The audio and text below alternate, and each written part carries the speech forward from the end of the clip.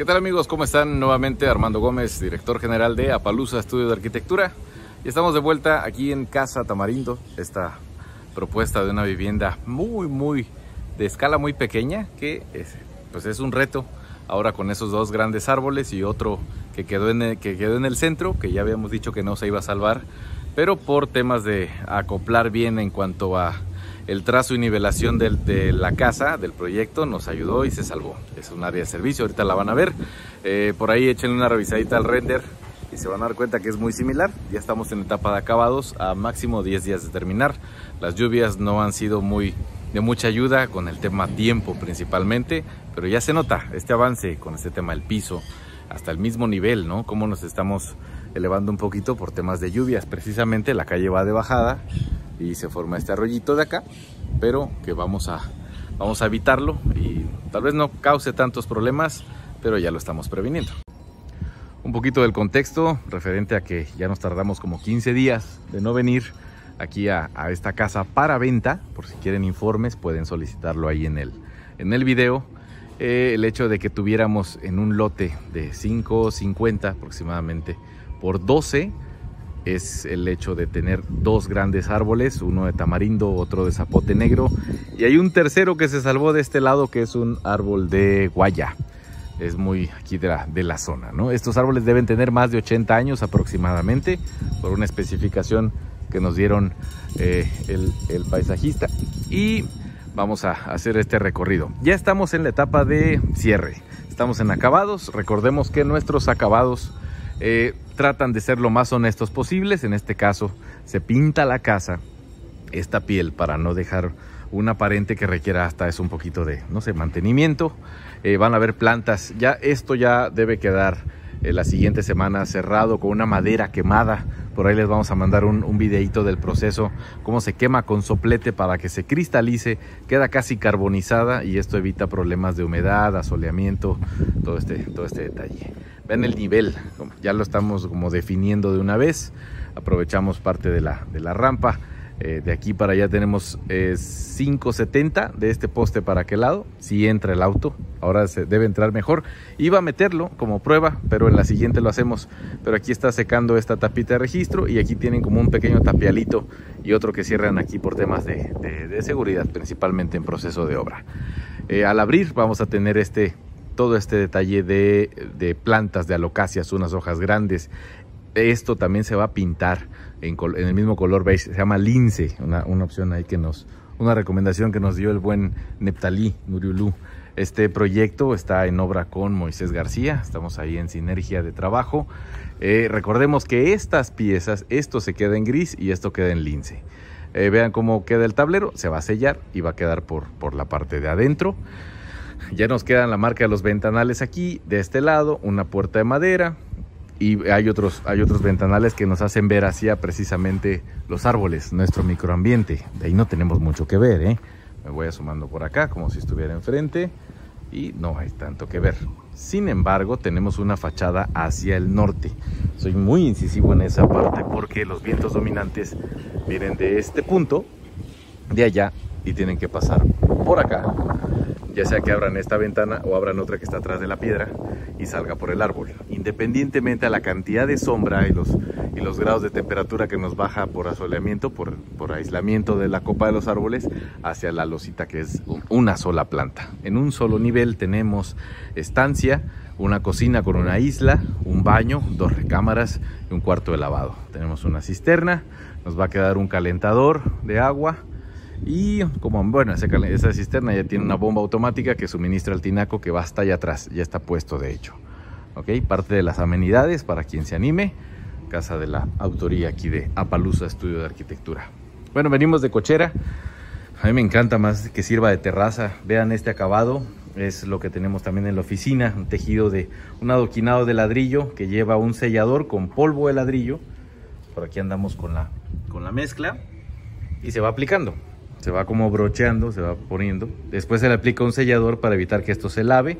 Ahorita por indicaciones debemos también pintar este lado y esta otra línea, todo acá. Vean cómo estaba. Esa parte de la faltaba la boquilla y, el, y ya viene el selladito, ¿no?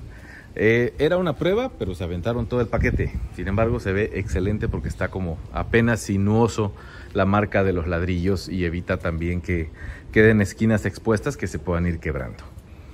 Aquí tenemos esta parte de nivel, vamos a meter unas alocacias, otras plantas que, que nos lleven a un, a un, nivel más o menos como esto de vegetación para después apreciar esto. Vean esta maravilla, la copa de estos árboles estas hojas son las que pueden llegar a preocupar en el tema de eh, las coladeras, sin embargo están de 4 pulgadas.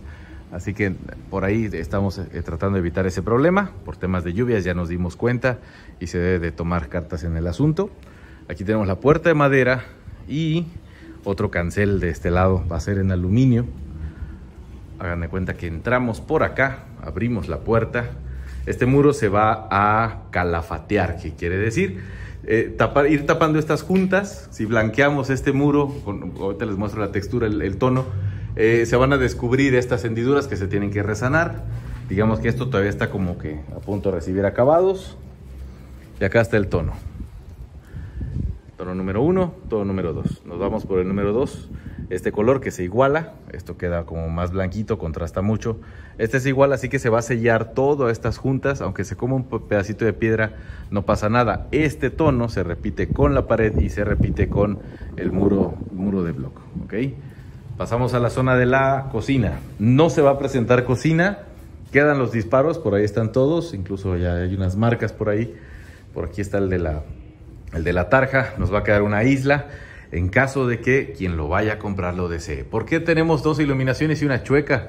El hecho de que esta es la de servicio para la zona de cocina, obviamente va a la alacena, y esta es por la cual queda el colgante con tres luminarias para lo que va a ser la isla en caso de que requiera el comprador. Y toda esta es la zona de la estancia. No estamos destinando un comedor como, tal, entra uno para cuatro personas eh, se puede dejar. Yo recomendaría utilizar mejor la isla. La casa es bastante relajadita, con muy buenas vistas. Incluso esta terraza que pudiera ser la clásica cochera nos va a generar las hojas cuando salgan aquí. Vamos a acomodar unas macetas de este lado. Es una calle privada, tenemos la ventaja de, por cuestiones de seguridad, y pintar esto del mismo color beige.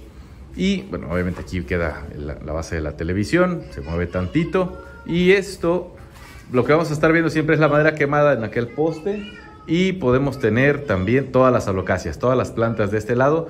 Así que vamos a llegar más o menos como a esta altura. O sea, no vamos a ver eh, parte de la casa, de lo que tenemos de los vecinos al frente, ¿no? Entonces, entre plantas, arcilla, este tono beige y la piedra, vamos a, a trabajarlo. Esto también va de color beige, recordemos esa parte. Ok, continuamos de este lado, estamos en la zona de, de cocina. Aquí está el pasillo de acceso. Por este punto vamos a tener esta piedra muy similar a este tono, algunas partes, lo demás se rescata, estas, esta textura, esta rugosidad se va a quedar de este lado. Y pasamos, este pasillo para mí es genial, tenemos la puerta del baño de este lado, ya se está trabajando, por ahí ya viene el tema de la, charolita del baño, cómo va a quedar con un antiderrapante de el mismo material de esta loseta, se hace una retícula y se pone aquí para temas de, una, controlar la charola, la pendiente de la coladera y que se vuelva antiderrapante. Aquí tenemos la ventana que nos va a quedar en sifón. Toda la iluminación va a ser cálida, siempre la proponemos, excepto que sean como oficinas o cosas así. Esto se pinta, este hueco lo vamos a cubrir de alguna manera con un poco de madera quemada, porque pues es una parte donde el árbol incide ya también con el vecino. Aquí vamos a tener vegetación, todo este lado. Dos puertas aquí, que son para las recámaras, y este que es el cuarto de lavado, que aquí dejamos los disparos, y este arbolito que se salvó. ¿vale? Se salvó de, ahora sí que de pura suerte, esperamos que el comprador pueda aprovecharlo. Eh, abriendo la puerta de este lado, abro por acá, tenemos disparos de televisión con el contacto, la salida de TV. ¿Por qué? Porque ya se utilizan soportes, ¿no? Y hay que pensar en ello. Disparos de aire acondicionado en este punto, los contactos para la cabecera, el tema del buró. Aquí va la cama, trae perfectamente una matrimonial sin problemas con su área de closet de este lado y todo este gran ventanal. Vean ya cómo la sombra del árbol empieza a trabajar. Este tono se va a repetir en estos muros. Vamos a trabajar por luz y sombra, que la textura nada más defina, no por color.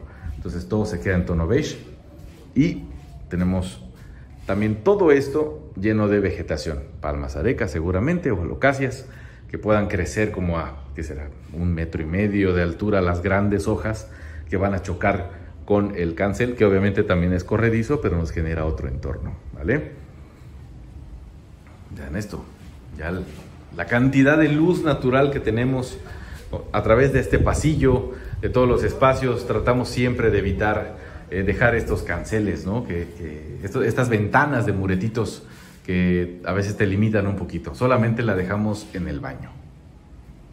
Y bueno, yo me quedo como que despidiéndome desde esta línea donde entra la luz y sombra del árbol y cuando esto sea en color beige, pues lo que se va a distinguir es la luz y la sombra. No queremos ver colores, como bien les decía. Son detalles que tratamos de siempre como de un lenguaje, algo que, que, sea como muy íntimo y que quien habite la casa, quien la compre, quien se la quede, pueda irlo disfrutando poco a poco, ¿no? Es una manera, digamos, de no solamente presentar confort, que sí lo tiene, iluminación y ventilación natural, que es parte de, los servicios, las amenidades, que son cuestiones técnicas de, de, de todo tema arquitectónico, sino también este pequeño lenguaje, estos detalles que no son accidentales, siempre tratamos de, dejarlos. Obviamente estuvo fácil aquí porque los árboles nos están ayudando, pero pensamos en todo ello. Así que cuenten con nosotros también cuando gusten un proyecto arquitectónico, casa, oficina, museos, bibliotecas, hemos hecho casi de todo y estamos para servirles. Cualquier cosa, comentario, crítica, duda, por favor déjenla ahí en, el, en,